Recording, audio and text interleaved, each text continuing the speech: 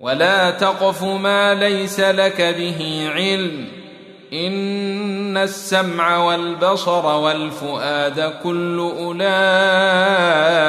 كان عنه مسؤولا يجب أن يكون المؤمن على حذر بأن يحكم على الله في شيء. بل يجب أن يكون متبعا لأمر الله ولدينه ويكون خاضعا خائفا من الله جل وعلا. أما أن يحكم على الله أنه يعمل هذا الشيء ويفعله فهذا يسمى تألي على الله. والتألي يطلق على الحلف. ولهذا قال والله لا يغفر الله لفلان. فجاء أيضا في السنن أن هذا الرجل أنه قال ذلك غيرة لله جل وعلا وإنكارا للمنكر ولكنه أخطأ. أخطأ حيث أقسم بأن الله لا يغفر له. وتفصيل ذلك كما في الحديث يقول كان رجلين كان رجلين ممن كان قبلكم متحابين في الله جل وعلا. وكان أحدهما مجتهدا والآخر مقصر.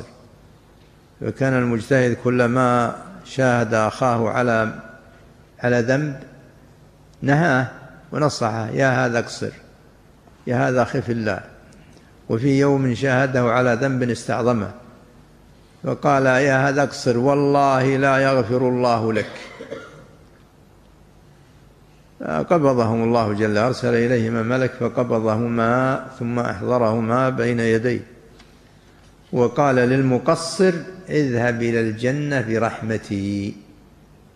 وقال للمتألي أتستطيع أن تمنع رحمتي العباد اذهبوا به إلى النار.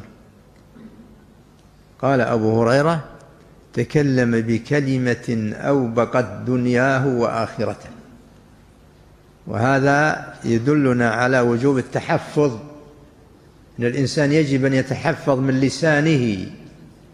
لا يقع في كلمة قد تكون سببا لهلاكه.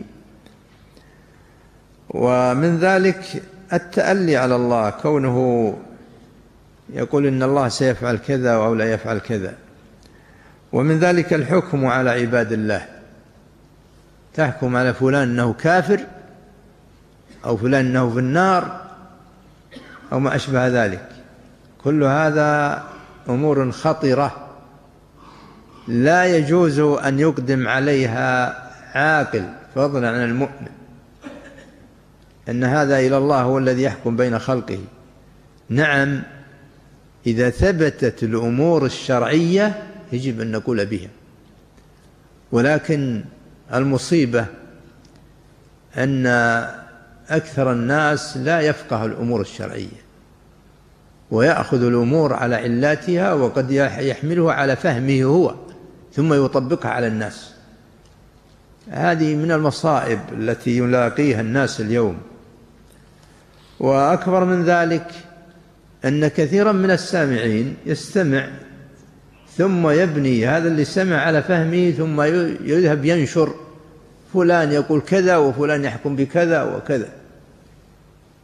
هذه أمور كلها يجب على المسلم أن يتثبت فيها.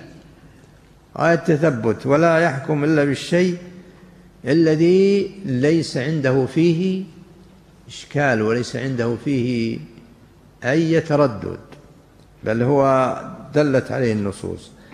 ولهذا يذكر أهل السنة في العقائد أنه لا يجوز أن ينزل أحد في الجنة أو في النار إلا ما أخبر الله عنه فقط. ولا ننزل أحدا في جنة ولا نار يعني معينا من أهل القبلة. ما هو من الناس مطلق.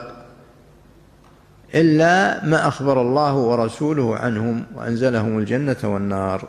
لأن الأمر إلى الله جل وعلا وهو الذي يحكم بين خلقه وقد يكون الإنسان يعمل أعمالا ظاهرها حسن وباطنها يعلمه الله. وقد تكون بالعكس وقد يختم للإنسان بأمر سيء وقد يختم له بأمر خير.